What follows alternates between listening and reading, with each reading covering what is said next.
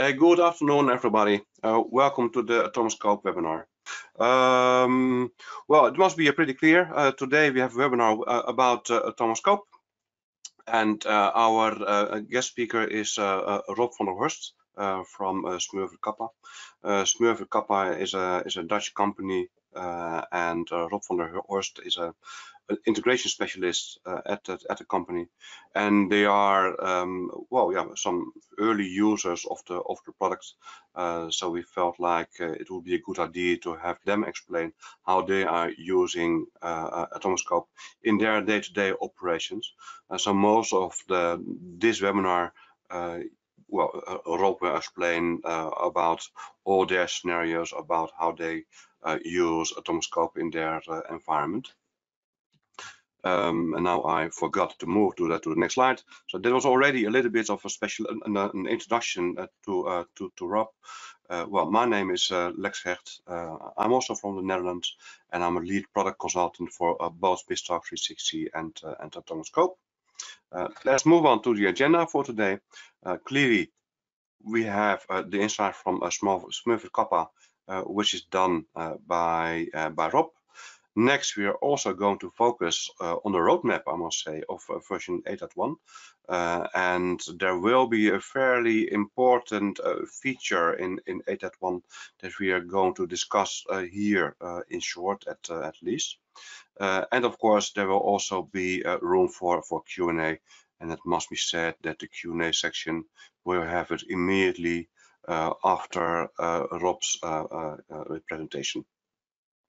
Um, so I think um, that's it for uh, for today. Um, yeah, uh, Rob, uh, over to you. I think. Yes, thanks, Alex. Um, yeah, I'm. Uh, my name is uh, Rob van der Horst. Um, I'm integration specialist uh, at uh, Smurfit Kappa for about four years now. Um, the first two years I was mainly busy with uh, creating uh, interfaces for the for the business. Uh, the last two years uh, I was mainly busy at uh, with working for improvements uh, to our integration platform.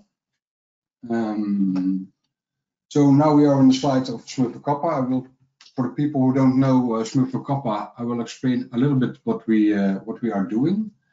Uh, Smurfit is a worldwide organization which produces paper and packaging solutions for different uh, industries uh, like healthcare, automotive, but most recognizable for you are the retail and uh, delivery packages, as uh, you can see in the in the slide. Um, Smurfit has about uh, 242 uh, packaging conversion plants, which produces the packaging solutions.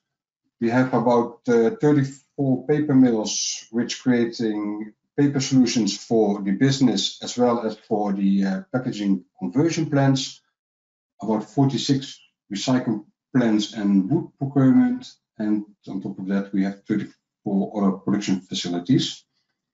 Um, Kappa has about 350 uh, production sites around the world with uh, 23 countries in Europe and uh, 13 countries in uh, in the Americas. So that's uh, a short introduction of, of Smurfit Kappa.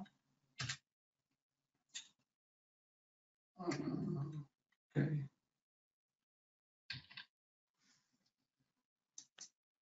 Um, Lex, I can't move to the next page.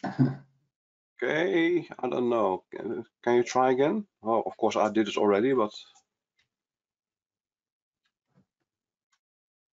Okay. Yes. Okay. Um, yeah. Well, we missed yeah. uh, we missed the topics which I want to discuss.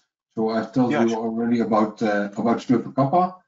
Um, I will also tell in this presentation about uh, why uh, why we have chosen for Atomic Scope. Uh, I will give you an overview of the inter integration architecture we have uh, in place. And then we go to the functional part of the configuration of Atomic Scope uh, in, in the portal. Then I will tell you uh, more uh, about the technical implementation, like the pipeline component and the orchestration, because we only use Atomic Scope for the in, in the BizTalk platform. And then I will also handle the failed message routing and the reprocess solution strategies we we are using. Um, and uh, the next slide will be then about the integration number to give you a high-level overview of uh, uh, the messaging process of our platform.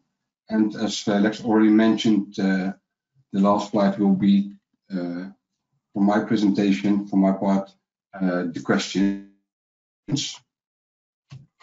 Yeah, so indeed, if anybody has any questions, uh, you can leave them in the in the question and answers uh, pane and we will address them uh, after uh, Rob's presentation. Yes. So uh, this slide we already have done, so I will move to the to the next slide.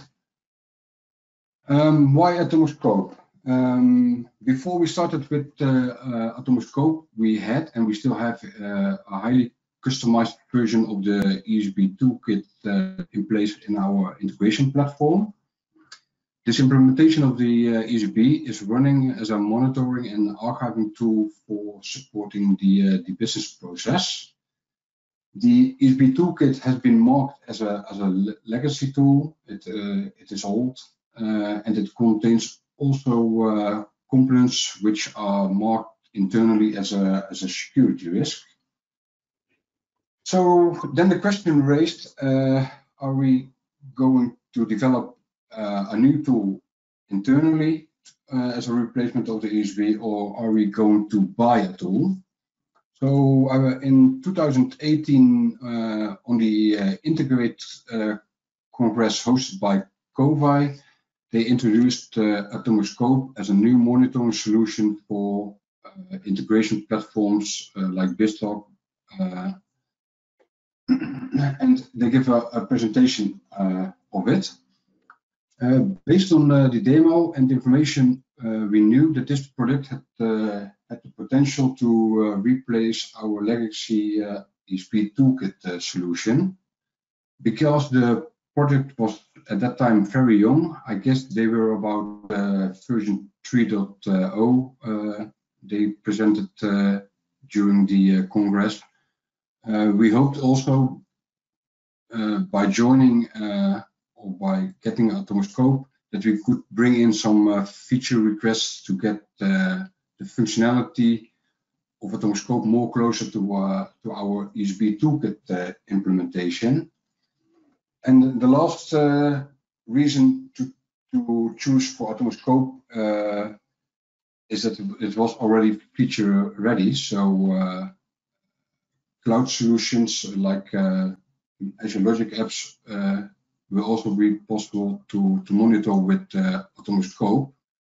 Um, at this moment, we are not uh, uh, using any cloud solutions for our integration platform, but when we uh, start that journey, uh, Atomic Scope is uh, is ready for it. So that's uh, that are the main reasons for choosing Atomic Scope. Um, the integration architecture. Before diving into the functional and technical implementation of uh, Atomic Scope, uh, first I want to show you our architecture with the implementation of Atomic Scope uh, to our production uh, environment. Um, we have uh, in place uh, in two data centers. we have one web server which is hosting the Atomic Scope portal. We have uh, three uh, SQL servers uh, in a cluster to get the data layer high available, as you can as you can see here. also divided on the on the data centers, and we have two BizTalk service uh, 2016 running, uh, which are single nodes, uh, which are load balanced through an H2 load balancer to get the uh, integration platform uh, high available.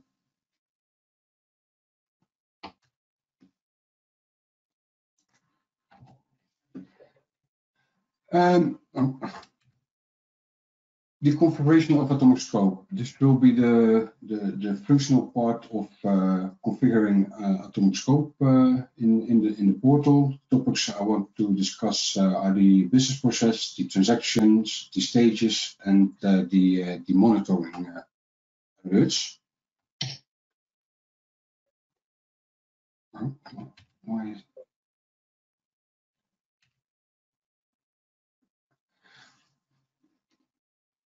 Um, in this slide, in, in yeah, this okay. slide, the uh, you can uh, see the uh, uh configuration of atomic scope. Uh, the, the, configuration of atomic scope contains about uh, contains a tracked item. the tracked item is contains all the monitored information from the whole messaging process. So when you receive a message, you do do the stuff in between of sending out uh, the item that uh, is uh, named in a atomic a tracked item. in the tracked item, you can configure a business process and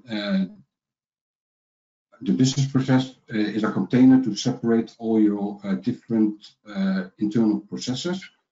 We have configured the business process with internal processes like corrugated paper, recycle, etc.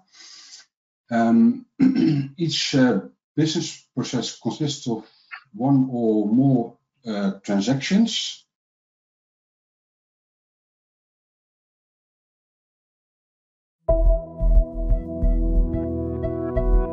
Kovai.co